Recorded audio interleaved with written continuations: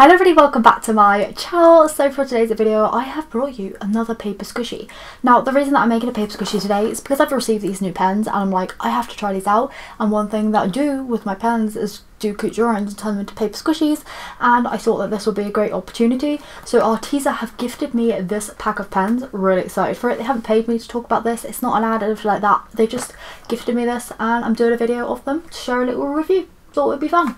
Um, so yeah, they look really, really interesting. They are water-based and blendable apparently, and they are like double-ended, which is something I love in my pens. I thought that this might be a great like way to share some new pens with you guys because the ones I usually use are out of stock everywhere and I can't like give you anything to kind of recommend you use them because they're no longer in stock anywhere so I thought that these might be a bit of fun. Even more fun though, I do have a 10% off code for Arteza's website which I will leave down in the description as well, put on screen right now just to save you a bit of money if you want to buy these. If you do have any requests please do leave them down in the comments down below just in case you have a request for a paper squishy, any other type of DIY. My ears are open, I see you, I see all the comments of the paper squishy requests and I'm loving them so leave them down in the you know comments and I'll read them and maybe yours will be made too. So yeah, thank you so much for clicking on this video and I'm just going to get stuck straight on into it.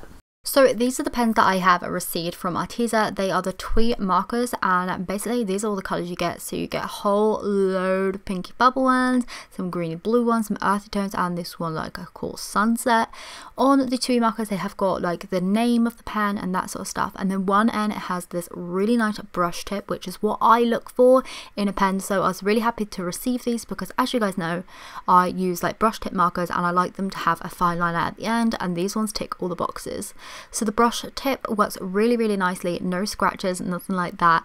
And then these are the fine liner tips on the other end. These work wonderfully as well. They feel much more um, like of a higher quality than the ones I've been using previously so really really happy to have received these and as you can see they draw on really really nicely very true to the colour as on the other end and that is something that I love.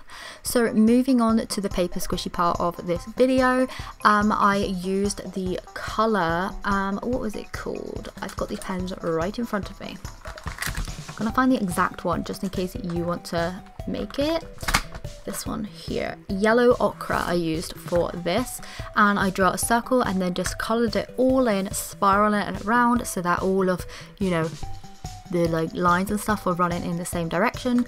I then cut that out and I left it so that it still had a fold on so that I was able to use the same colour pen on the other side to colour the edges. I didn't bother colouring it all because there was no point, it was going to be hidden anyway, so I just colour around the edges. I also used the fine liner to add like some little textures onto it to make it look like it was like a cookie and then I used the colour um, brown, it was a brown shade, sienna brown to make little chocolate chips. Once I had done that, I just set it aside just to dry down and everything. And then on another piece of paper, I used a whole bunch of colours to draw out these sprinkles along one strip. I cut this strip out and made sure that it was like the same size either side. Then I just taped it together to make this ring. What I then did was to went around the ring with a little pencil, cut out those two circles, and then on them I used a whole bunch of colours again just to create the sprinkles. I was using the brush side to make the sprinkles and it worked out so nice. Like honestly, these glide on the paper, very happy with them. I know some brush tips can sometimes be like a bit scratchy and that's not what I like at all. I like smooth brush pen, which is why I always choose like a brush tip over a kind of felt tip type thing and these ones here they just work great. Very happy to have received them.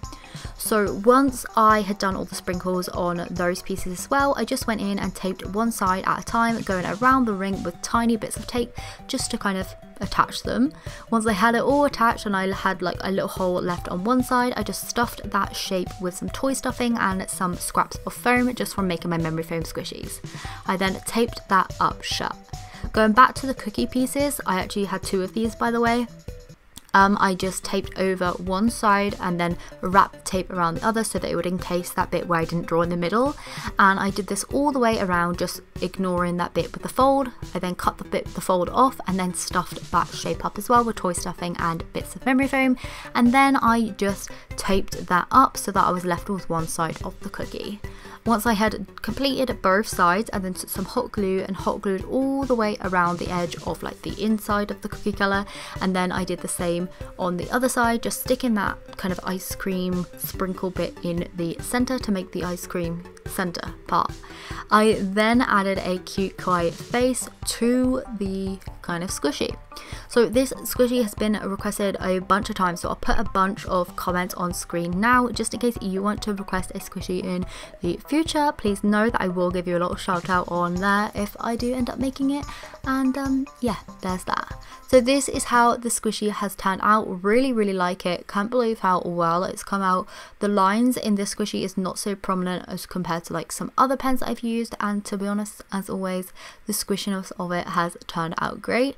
So if you do end up making this, then be sure to tag me on Instagram. Um, just at Chelsey DIY. I will leave the link and everything down in the description for you to check out. I will also leave obviously the links to all of the pens down in the description so you can check them as out as well. I will also leave a um, coupon code so you can get some money off just in case you want to create these as well. And obviously I'll leave the kind of main colours that I used for this just in case you want to recreate it with the pens then you can do so using the exact same ones I did. So thank you so much to Arteza for gifting me these pens. I actually really really like them. I'm going to be using them from now onwards and yeah so thanks so much for watching and I'll see you very soon. Bye!